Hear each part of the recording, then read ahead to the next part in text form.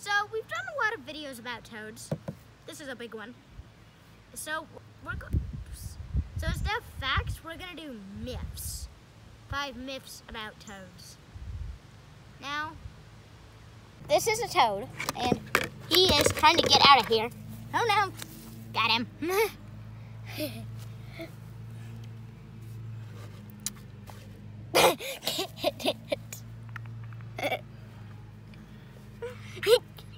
okay.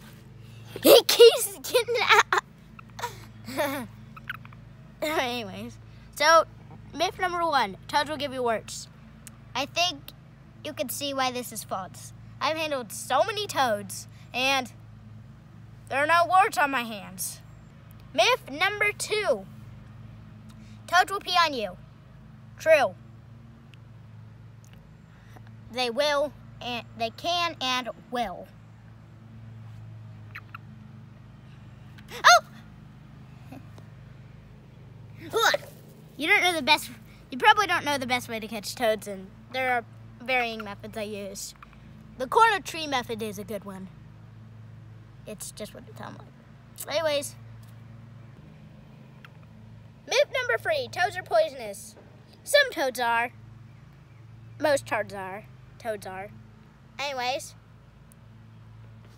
they have glands behind their eyes that secrete a milky white substance that it and it's toxic if you eat it, but people don't eat toads. And but it can be for dogs. Quit chirping.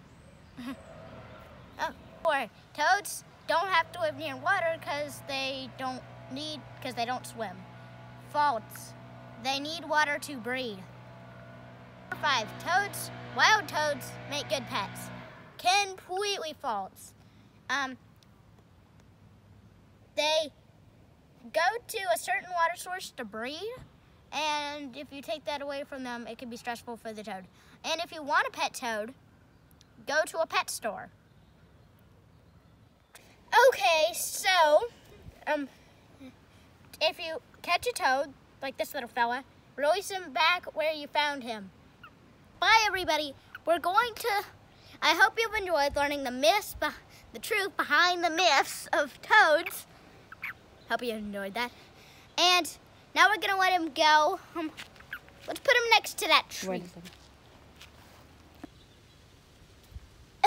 there he is. Hope you are happy, little toader.